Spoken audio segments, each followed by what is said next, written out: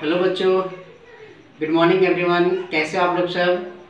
मैं Surendra sir and आज science का जो क्लास फाइव के लिए पार्ट थर्ड आज लेने जा रहा हूँ और ये आज का फ़र्स्ट चैप्टर का लास्ट सेशन है, ठीक है? इसेंशियल फ़ंक्शन ऑफ़ लाइफ जो हम लोग पहला चैप्टर का नाम क्या है? इसेंशियल फ़ंक्शन ऑफ़ लाइफ जिसके बारे में हम लोग बहुत सारी चीज़ देख लिए थे, है ना, जिसमें से ग्रोथ देखे थे, है ना, और, क्या रिस्पायरेशन वगैरह देखे थे, और रिस्पॉन्स टू एक्सट्रीमली ये सारी चीज़ देख लेते आज हम लोग देखेंगे एक्स क्रिएशन ठीक है? एक्स क्रिएशन मतलब होता है मलोत्सर्जन ठीक है? यानी कि मल का उत्सर्जन करना, जिसको हम लोग बाहर आउट करना दैट इज़ कॉल्ड मलोत्सर्जन ओके तो हम लोग इसको भी पढ़ते हैं, ठीक है? All living beings take food water and air हम लोग सभी जानते हैं कि जितने सारे लिविंग बींग है, यानी कि सजीव, है ना, सजीव है, वो सभी लोग क्या करते हैं? फ़ूड लेते हैं, भोजन खाते हैं वाटर पानी पीते हैं, हवा को इनहेल करते हैं, सांस लेते हैं, है ना?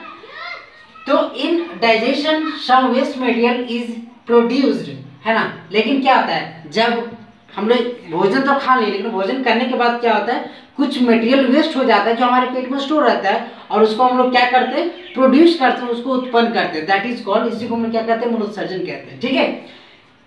ये था। उसके बाद देखते हैं ammonia urea and uric acid are water soluble waste देखो, क्या होता है कि अमोनिया यूरिया और यूरिक एसिड जो ये सब मिलकर के क्या होता है? एक वाटर वाटर सोल्यूबल वेस्ट मतलब क्या होता है? जो एक लिक्विड पदार्थ जैसा निकलता है, जैसे हम लोग यूरिन कह सकते हैं ना तो वो होता है। है ना? They are excreted by urine and sweating और ये क्या होता है? जैसे हम लोग कोई काम करते हैं तो क्या होता है? पसीना निकलता है ना तो उसके द्वारा वो बाहर निकलता है, फिर यूरिन यूरिन जो हम लोग यूरिन का हम लोग कह सकते हैं उसको, है ना? ये सब क्या होता है? वाटर सोल्यूबल होता है, ठीक है? उसके बाद है plants do not have much waste they throw out carbon dioxide उसके बाद तीसरा हम लोग पॉइंट इसको देखेंगे प्लांट्स के बारे में। तो प्लांट्स क्या है? उन लोग के पास बहुत ज़्यादा वेस्ट नहीं होता। है हालाँकि वो सभी भोजन करता है। तो भोजन क्या वही जो सनलाइट वाटर वगैरह मिनरल्स वगैरह मिल करके जो है ना, वो जो अपना भोजन बनाता है ग्लूकोज बनाता है तो वो भी करता है। वो भी एयर लेता है, वो भी वाटर लेता है। लेकिन क्या है? वो जो वेस्ट करता है, वो ज़्यादा क्या करता है? सिर्फ़ कार्बन डाइऑक्साइड को ज़्यादा वेस्ट करता है।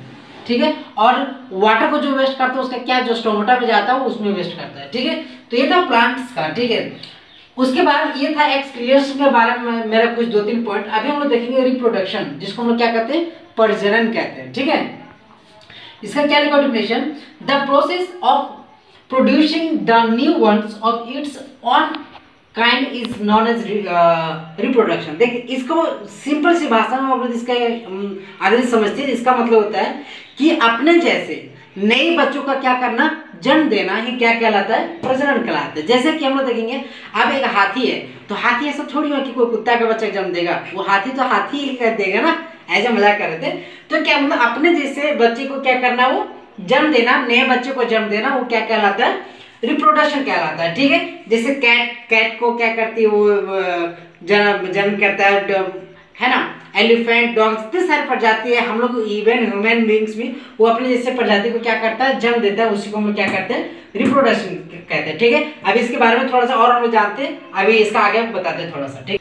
तो अभी हम लोग देखें कि रिप्रोडक्शन किसको कहते हैं, ठीक है? उसी के बारे में कुछ हम लोग देखते हैं बाय टॉपिक बाय क्या लिखा हुआ? Fish frogs reptiles and birds lay eggs मतलब जैसे मछलियाँ फ्रॉक्स ये सारे जितने चीज़ें हैं, ये सब क्या देते हैं? ले एग्स अंडे देते हैं। यानी कि वो अंडे देकर के क्या करते हैं? अपने जैसे नए बच्चों को क्या करते हैं? वो रिप्रोड्यूस करते हैं, प्रजनन करते हैं, ठीक है? ममल्स जो दूध देने वाले होते हैं, जैसे कौन कौन? रैट्स कैट्स कॉज है ना?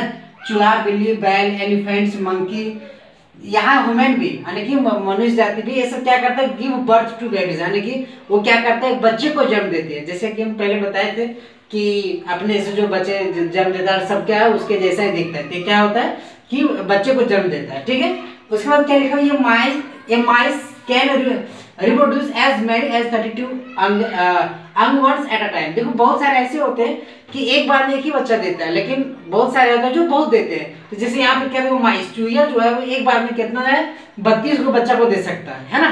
तो कोई कोई होता है जो एक देता है जैसे हाथी एक देता है है ना? जो जो एक देता है, एक देता है, जो दो देता है, दो कोई कोई क्या बहुत ज़्यादा देता है जिसमें उसमें कितना बत्तीस रहता है, ठीक है? और प्लांट्स के बारे में देखेंगे तो प्लांट्स प्रोड्यूस सीड्स यानी कि प्लांट्स जो होता है वो क्या करता है, वो सीड्स को देता है, यानी कि उसके क्या होता है, एक दाना होता है, बीज होता है, उसके फिर से वो डालता है, फिर से उससे पौधा होता है एक नया होता है। कुछ कुछ प्लांट्स ऐसे जिससे बर्ड से बन जाता है, उसका कली से बन जाता है, जैसे रोज। रोज होता है ना, रोज की हम लोग अगर बात कर रहे हैं कि ये किससे हो जाता है? बर्ड्स। बर्ड्स मतलब जैसे गुलाब का क्या करो? उसका ब्रांच को काट के लगा दो, उसमें कली निकलेगा उससे क्या होता है? नया पौधा बन जाता है। तो इस तरह से क्या है हम लोग का ये रिप्रोड्यूस रिप्रोड्यूस होता है, ठीक है? तो आज क्लास फाइव का साइंस का ये चैप्टर लास्ट होता है, खत्म हो गया यहाँ पे, ठीक है? आप लोग आई होप आप सब लोग को अच्छा से समझ में आया होगा।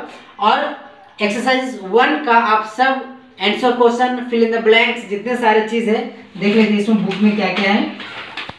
मैं मल्टीपल चॉइस क्वेश्चन है मैच द फॉलोइंग है नेम थ्री है गिव वन वर्ड्स भी दिया हुआ है व्हाट हैपेंस व्हेन भी दिया हुआ है, और ये आंसर क्वेश्चन है। आप लोग सब बुक से देख के बना सकते हैं, ठीक है? उसके बाद आप लोग होमवर्क सबको भेजिए, उसके बाद फिर हम लोग नेक्स्ट एक्सरसाइज टू स्टार्ट करेंगे, ठीक है? ओके बेस्ट ऑफ़ लक जल्दी हम लोग कल, सबको कल होमवर्क अपना अपना ग्रुप में आना चाहिए, ठीक है? Okay bye